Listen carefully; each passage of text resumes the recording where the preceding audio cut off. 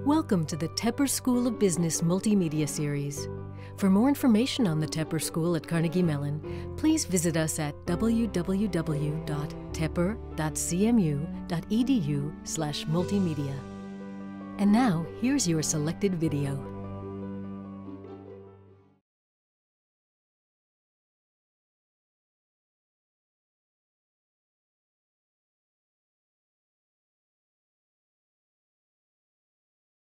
Uh, our program began in 1994, which makes us the oldest program of its kind.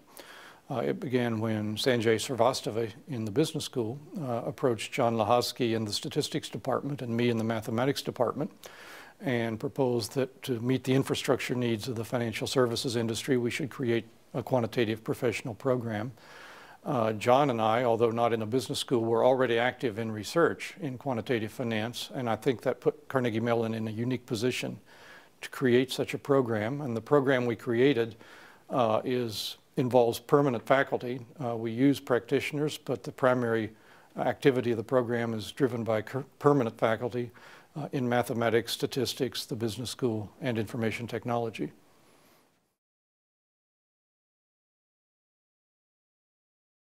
Uh, so the uniqueness of the program uh, derives from the fact that it involves faculty in four different departments uh, who are deeply committed to the program in terms of designing the curriculum, making admissions decisions, promoting the programs among potential employers.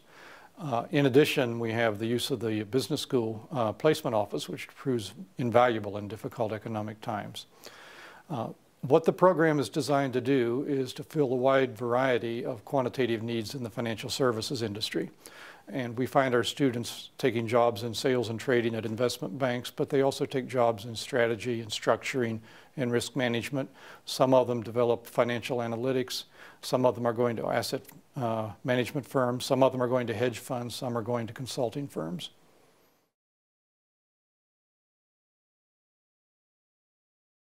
So geographically, uh, the largest percentage end up in New York City. Uh, after that, uh, London would be probably the second place where we have most of our alumni. Uh, and then in the U.S., we find them going to Boston. Uh, some are going to San Francisco. Those who go with consulting firms or boutiques can be anywhere in the country. Uh, and then internationally, uh, the strongest employers are in Singapore and Hong Kong. Uh, we have students who come from uh, Tokyo and are sponsored by their bank, and those typically return to Tokyo.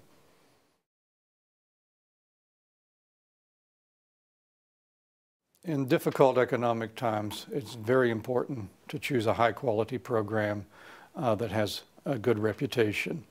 Uh, our program has been around since 1994, uh, so we are the, both the oldest and the largest, and we're well known among the potential employers. We have a big alumni base, and our uh, students have access to these alumni when they're trying to find their own jobs. Uh, this year, which is the most difficult we've seen since inception, uh, we have a class that graduates in December 2008, and uh, here at the middle of December, 68% of those have job offers. Uh, a number of firms that we're talking to have told us to check back with them after the first of the year uh, when they get new budgets. Interviewing is still going on, and so I'm very hopeful that despite the difficult conditions and the layoffs, that we're going to have very high placement.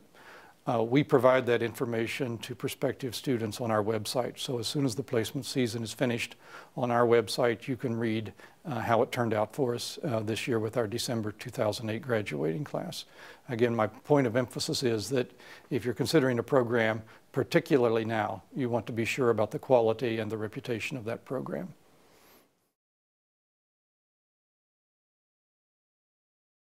Our program is very challenging.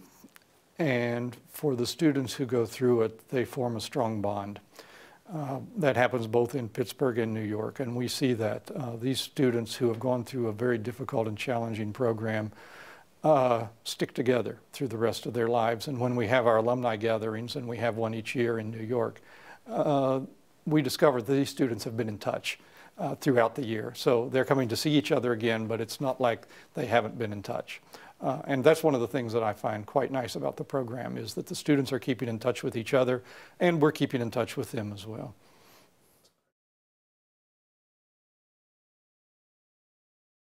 First of all, there's been a contraction, uh, and we're seeing an ongoing contraction, in fact, in financial services because of a, a bubble that was built around asset-backed securities. Um, but I think it's important to remember that in a free market, we're always going to need some process by which money that is to be invested is going to be matched with places where it can be productive. And even in mortgage-backed securities, which are the cause of the current crisis, we're going to have a need for uh, people who need to borrow money for their mortgages to find people who are willing to lend it. Uh, the financial services industry over the last 30 years has created a variety of innovative products. Uh, most of these require, require quantitative modeling, uh, statistical analysis, uh, underlying the financial services industry. That trend is going to continue.